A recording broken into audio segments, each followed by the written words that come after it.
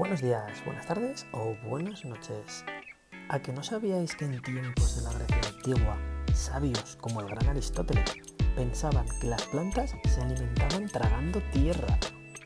Hola. Lo mejor de todo es que tuvieron que pasar 2000 años para demostrar que esto era una auténtica barbaridad. Para ello nos vamos a tener que remontar al año 1580 en Bruselas, Bélgica, donde nació el protagonista de nuestra siguiente historia. Hola chicos, soy Jean-Baptiste Van Helmont, aunque todos mis amigos me llaman Juanito. Os voy a contar un experimento que hice, ver qué os parece.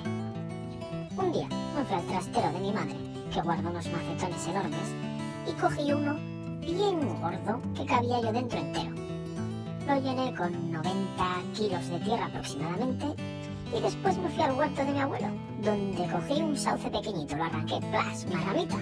Tan solo pesaba 2 kilos y lo planté en mi supermacetón. Lo dejé a su aire durante unos 4 años, simplemente preocupándome de echarle un poquito de agua cuando no llovía lo suficiente.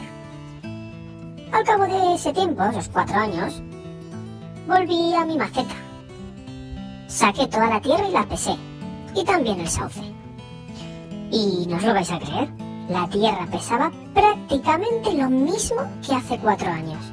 Y el sauce, en cambio, pesaba casi como la tía Gladys. Ochenta y pico kilos. Así que eso que decían mis profesores de que las plantas se alimentan por el suelo, ni caso. Todo eso lo han sacado del agua de la lluvia.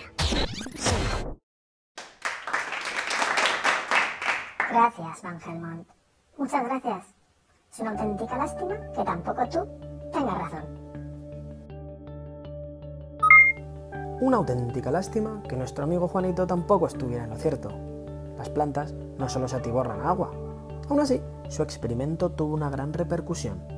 Por un lado, porque utilizó el método científico para demostrar su hipótesis y segundo, porque descubrió un gas, aunque entonces no sabía que se trataba del famoso dióxido de carbono. Pero eso ya es otra historia. Lo veremos en el próximo vídeo.